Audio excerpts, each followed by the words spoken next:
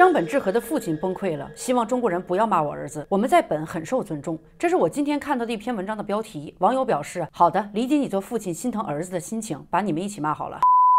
虽然有点玩笑话，但是话糙理不糙啊。张本宇先生在加入外籍后，姓氏都改了，这事儿大家应该都知道了吧？之前刚去那边的时候啊，有没有说过我们国乒的坏话呢？我不敢说，只是听来的。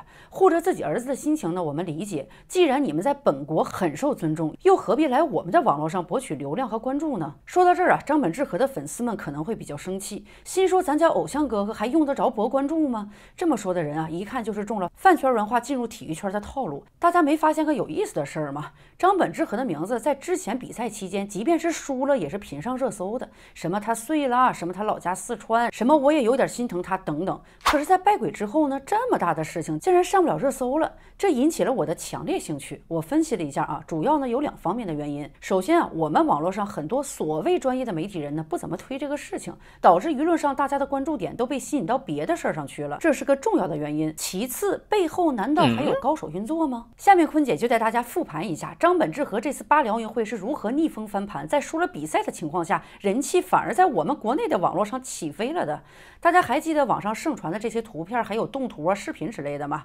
各种他输不起的样子。然后呢，咱说人总是有点同情心的，对吧？再加上如果有人先带头这么说呀，很快的大批网友就开始对他从厌恶转为同情了。记得当他瘫坐在地上的那一刻，凄凄惨惨戚戚的氛围感呢，各种怜惜之声在我们的网络上传开来。还有人说张本智和是我们派。过去的卧底，他可是我们国乒队的副将。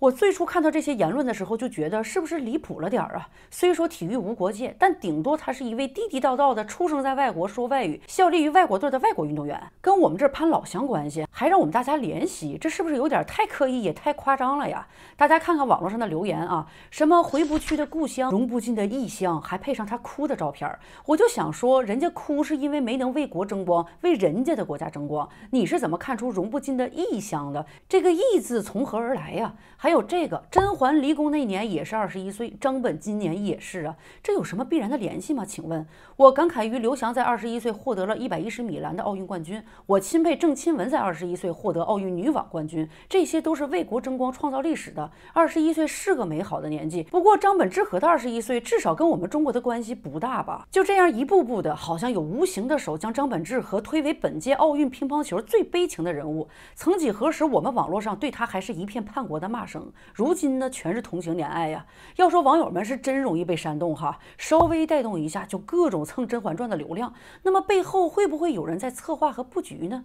有人爆料他签约了某国际知名运动员经纪公司，总部位于美国。据说该公司啊善于为签约的运动员搞营销，而张本智和的商业价值较高，平时还有一些外国企业赞助他打球。所以呢，说实话啊，如今张本智和败鬼的事情被爆出来，不管是他的父亲还是母亲要帮他出来说话呀。其实都是在火上浇油，反而让一些网友聪明的扒到猛料，包括过去他们一家人的态度，比如曾经口出狂言是要打败中国队，甚至他父母还对我们国乒队有过诋毁。这些资料呢，网上都有，也不是咱们能随口编出来的。只不过平时你不激怒别人啊，那些手里有料的人也不拿出来，是这个道理吧？我个人呢是理解我们一些优势项目的运动员为了追求梦想去国外参赛的，但是出国别忘本，再怎么不满意，难道不是国乒队培养你们的吗？咱做人得讲良心吧？大家有没有想过，为什么明明操盘手知道张本智和以及他的家庭跟我们中国的种种渊源和矛盾，却还要极力的捧他呢？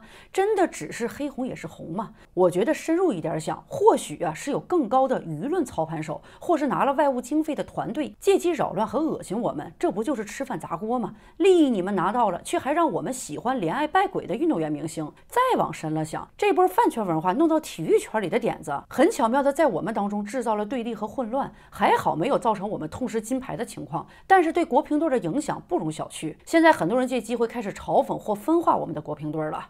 今天我在网上看到有人发的这张图，叫“四年后洛杉矶奥运会乒乓球”。看了图您就明白了，就是说我们乒乓球队青黄不接，到时候谁能迎战正值当打之年的外国选手啊？其中呢就特别提到了张本智和张本美和。你就说在这个节骨眼上，有人发这么一张图，评论区想都不用想啊，必然是一群理。中客和爱国粉丝们的互喷现场，这不是引发对立是什么？同时巧妙的让大家别再纠结于张本智和等人的败鬼行为。本来这饭圈文化就闹得我们的国乒队内部部啊有点不愉快了，被说成内斗严重。然后呢，大家想想，有的人是不是坐收渔翁之利了？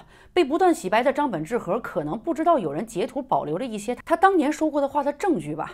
在这儿呢，多说一嘴啊，我就不担心我们国乒队。想当年刘国梁、孔令辉退下来的时候，就有人在网上喊同样的话，完了以后怎么办呀？后来呢，看看咱们国乒队的成绩吧，有担心的必要吗？明明是有人借机会增加不必要的焦虑情绪呢，是不是？其实我们网络上热度高的明星从来不缺外国人，我也不会狭隘的说不能去追外国的明星。但是张本智和有点不一样，他跟我们有着千丝万缕的联系，而鉴于他曾经的一些不当言论，再加上如今的不当行为，如果我们网络上继续热捧他们经纪公司幕后团队会继续造势努力洗白，这点毫无疑问。那么接下来呢？之后的国际大赛上，他无疑会是国乒队的强劲对手。到时候我们一堆人家的粉丝啊，再加上人家本来也不是中国人，以后再发表点三观不正的言论，会影响多少他的中国粉丝呢？答案不言而喻。最近是有人把他拜神社的事儿给曝光了，要不然呢，我估计中国品牌的代言都拿到了吧。其实国内外的舆论场啊，从来都不是风平浪静的，只是有些人想的太简单了。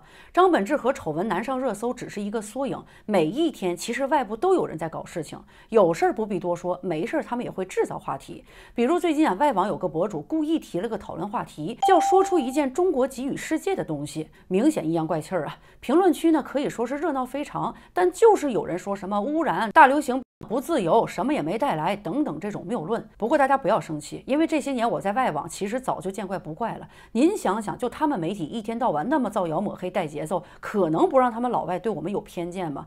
而且他们的网络又是毫无有体系监督，说话尺度大不辨真假的那种。但好消息是，还是有大批外国网友帮咱们说了好话的。答案也是五花八门的。问中国给世界带来了什么呢？很多人提到了四大发明，还有最好的奥运会开幕式、中餐、高铁、孙悟空、茶叶、未来的希望、商品，你们每天在用的用来抱怨中国的电子设备，史上最大幅度的消除贫穷，做个正常人，有性价比的电动汽车，智慧与耐心，并寻求和平的解决方案，太多太多了。有网友说，对于那些抱怨的人，干脆别买中国制造的东西了。很明显，你不感恩中国现代制造业所带来的高效与生产力呀。大家可以看到，我根本不用找那些陈芝麻烂谷子的事情来做例子，这就是一位外国博主最近几天刚发的帖子。截止我制作视频的时候，已经有近三百万的阅读量评论、引用、转帖都很多。而当我看到这些评论的时候，心里也是五味杂陈的。一方面，我为如今世界上有越来越多的人能正视我们中国的发展与强大而感到欣慰，至少他们在改变固有看法。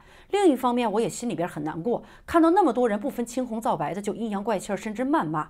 我相信这里面一定有说中文的，还有这样的外国博主不断的在网上带节奏，勾着大家唱衰我们，颇有点内忧外患的感觉呀。我相信大家也不想看到这种情况，但真实的情况就是一直有些人在诋毁和抹黑。所以那些动不动就说我们敏感极端的人，应该多了解一下，如今在世界范围内到底有多少舆论战的套路每天都在上演着。逮到个机会呀，他们就会极力的给我们添乱，不管是通过宣传三观有问题的体育明星，还是发帖子阴阳怪气儿，是抹黑还是碰瓷儿，还是都有，大家自己想吧。到底是我想的太多，还是有些人想的太少呢？好了，这期又说了不少不该说的话，深度解读有风险，大家且看且珍惜吧。